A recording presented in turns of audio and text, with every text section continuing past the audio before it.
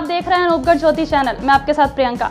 घटसाना से हमारे स्वानदाता वेद अग्रवाल ने बताया कि कालूराम पेसे के जन्मदिन पर रक्तदान शिविर संपन्न। कुल इक्यासी यूनिट हुआ रक्तदान।